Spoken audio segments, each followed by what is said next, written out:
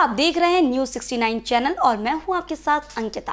चलिए रुक करते हैं खबरों की ओर। गंजबासुदा के भारत माता कॉन्वेंट स्कूल राज्य बाल आयोग के सदस्यों की टीम पहुँची, जहाँ 70 बच्चों के धर्मांतरण और मानव तस्करी का मामले की जाँच की जा रही है। बच्चों से जुड़े दस्तावेजों को खंगाला जा रहा है।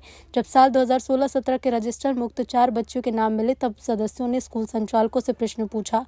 छात्राओं को अपने बिना पात्रता के कैसे रखा, लेकिन आयोग के प्रश्नों की संस्था का कोई जवाब नहीं दे पाया। मीडिया से बातचीत में कहा कि चार बच्चों की जानकारी बच्चे कहाँ रहे होटल के दस्तावेज़ की जाँच के लिए जिला शिक्षा अधिकारी और महिला बाल विकास अधिकारी को समस्त दस्तावेज़ एकत्रित कर आयोग को भेजने को कहा जिससे जाँच आगे बढ़े। आयोग के सदस्यों ने मीडिया को बताया कि पूरा मामला मानव तस्करी से जुड़ा है जिसकी जाँच चल रही है। नहीं स्वर्गीय लगाया नहीं है।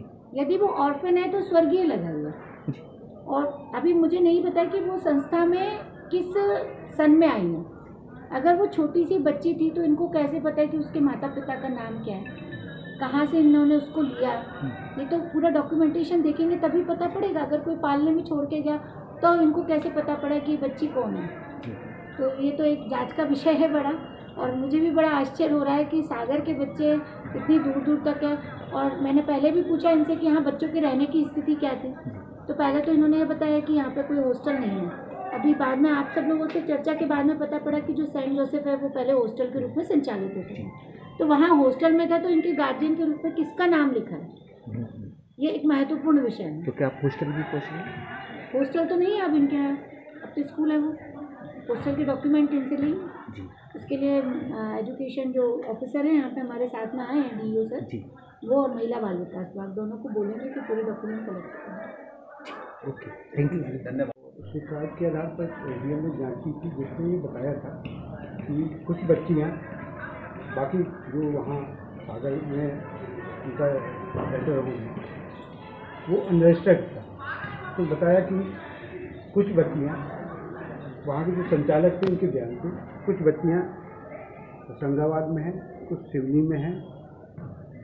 और चार बच्चियों का हमने बताया था गंजबासोदा में है तो हमने कहा, ये संभव हो सकता है क्या?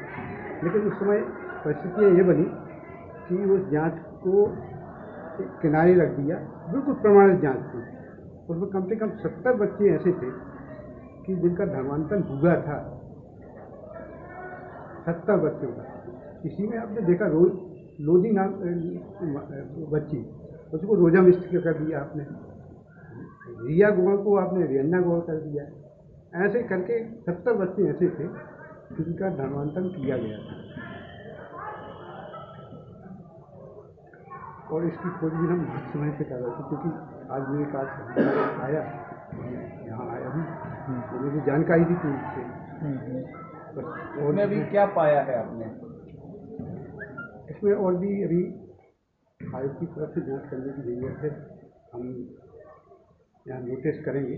नोटिस के द्वारा बाकी दस्तावेज़ जवाब देंगे। इस संस्था में कुछ गड़बड़ पाया है क्या? नहीं बिल्कुल गड़बड़ है। ये तो मानव तस्करी है।